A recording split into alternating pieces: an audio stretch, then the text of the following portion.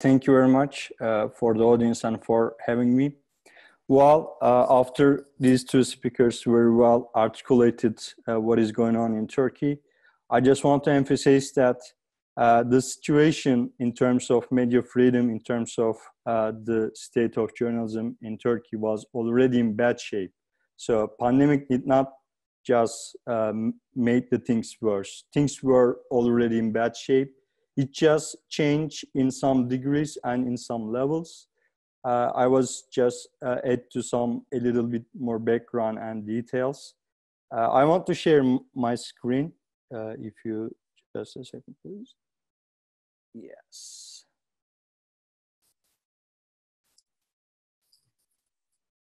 Can you see my screen? Okay. Yes. COVID-19 and journalism in Turkey, the state of media amid chaos and fear. Uh, Turkish media before pandemic. Uh, both speakers presented a very good picture about Turkey. Uh, as the title of my session hints, the media was already in very bad shape before the pandemic. The government's crackdown on media has a long prologue, unfortunately. It goes back to maybe uh, 10 years in a piecemeal fashion. The government has uh, increased and developed its skills of uh, extending its control over media landscape through various and combined uh, methods and measures. One of the measures was financial regulation and uh, the new the change of the ownership of media outlets by uh, businessmen loyal to the government the government did not just encourage it, it just uh, forced on some occasions. And uh, long story short, things began to get extremely worse since the coup in 2016. After that, at least 180 media outlets were shut down. Uh, more than 100 journalists were placed behind bars. And the crackdown has never uh, dissipated to this day, unfortunately, and uh, the level of its intensity may be subsided, but it has never ended. Uh, according to New York-based Committee to Protect Journalists, Turkey is the worst jailer of journalists in the world. Uh, more than 70 journalists are behind bars, but the number is, uh, is a matter of controversy because another media platform, P24, Istanbul based, uh, it puts this number as 92.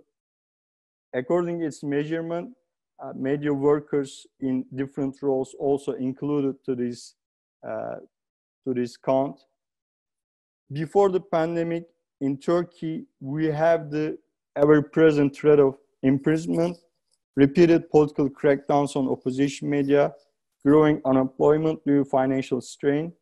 These were the major challenges that uh, media members and journalists faced before COVID-19 completely altered the landscape of the debate. During the COVID-19, we have seen different forms of censorship, both imposed by the government and self-adopted by the media outlets to avoid government uh, pressure and punishment. The, the reporting of COVID-19 cases unfortunately became very difficult, if not entirely impossible. Authorities significantly limited the scope of media coverage and uh, journalists were unable to verify and check the accuracy of the official statistics. This is very important because the Turkish Health Ministry on daily basis, they provides numbers and uh, they update the public with fresh numbers, but we are not sure because we have some reports on social media that uh, some of the cases could have relation to COVID-19 health reasons, but they were not registered as such. So uh, in this area, we have a problem of accuracy. Some of the journalists in several parts of Turkey, in, in Bartın, in Kastamonu, in Gaziantep, in Ankara, they face persecution after uh, what the prosecutor says, inciting panic among the public. The uh, Fox TV anchorman Fatih Portakal, one of the most watched TV shows in Turkey, he also faced investigation, but the investigation later dropped. Many of the deaths, as I said before, uh, were suspected to have relation to pandemic, but were not registered as such. There are many reports by Reporters Without Borders and Amnesty International. Uh, they confirm that the, the pandemic only amplified the, what is already existing in Turkey, the climate of fear. Uh, Amnesty International report says journalists reporting on COVID-19 or even posting on social media fear they may join the stress of Turkey's independent media workers currently behind bars. Another point which is uh, overlooked and under noticed that this pandemic hit media financially in very serious terms. Uh, many of the media outlets got, went through a brutal stress test. The, the circulation of print media has dropped 25%. Maybe, probably most of the, uh, half of the press workers uh, who joined a survey by press union associated with a left left wing DISK they began to work at home remotely.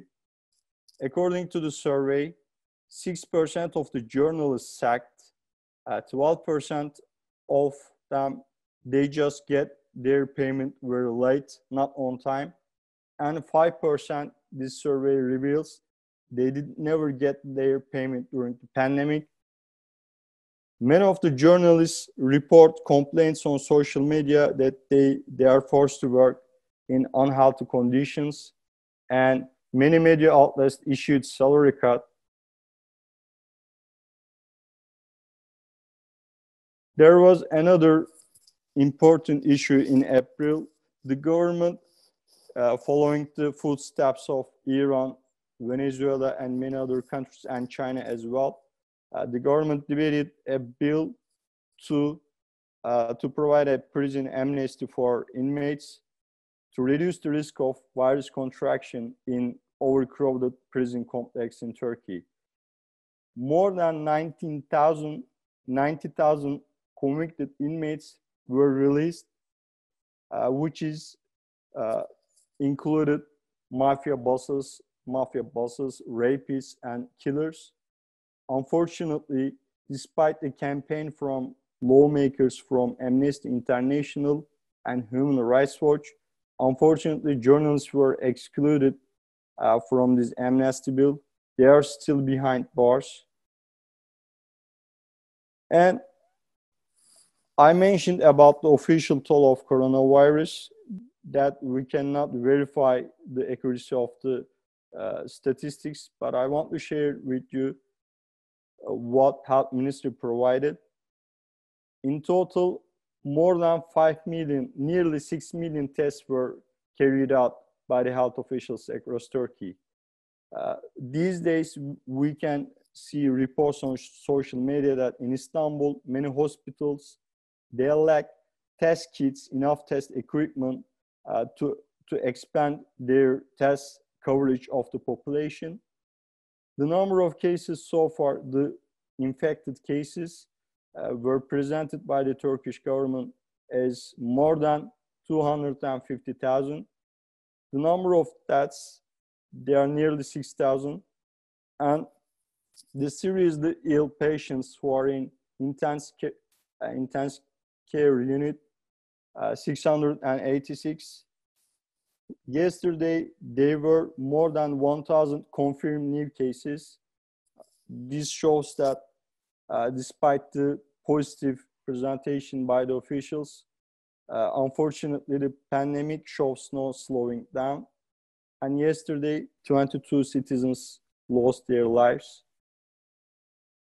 Uh, to sum up the, this presentation as briefly as possible, uh, Reporters Without Borders, they reported uh, in a recent documentation in July that more than a dozen journalists were arrested.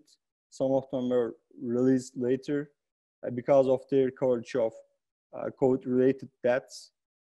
Uh, the situation for Turkish media became only worse during the pandemic, and uh, the climate of fear has been solidified.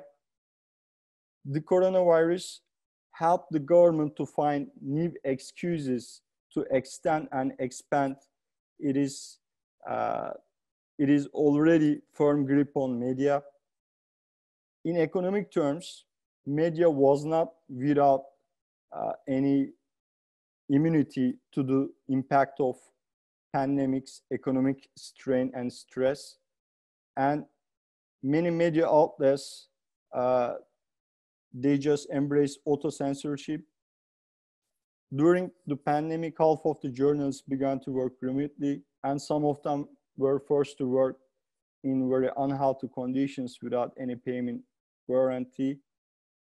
And to make matters worse, last month in July, Turkish parliament enacted a new law about a social media, you know, to regulate the social media landscape, which has been the main source of Turkish people's access to information and their uh, main tool of expression. Given the fact that the mainstream media, as Yavuz Baydar noted, uh, mostly under control of the government through direct or indirect mechanisms, social media remains the last uh, the, remains the last shelter for people to express themselves. And in July, they introduced new measures, uh, such as many of the social media giants like Facebook, Twitter, YouTube, they are forced to share their data with the Turkish authorities. And uh, they have to, from now on, store their data inside Turkey. And the anonymity of the users, for instance, we launch a campaign for some cause on social media. We, uh, we set up a trash, uh, we set up a hash, hashtag to uh, galvanize the public. From now on, Turkish government will be able to extract the information of anonymous users. So uh, this law introduced another another aspect, which is heavy fines and compensation against these technology companies. If, as a journalist, Abdullah Ayasun, I uh, post a critical tweet.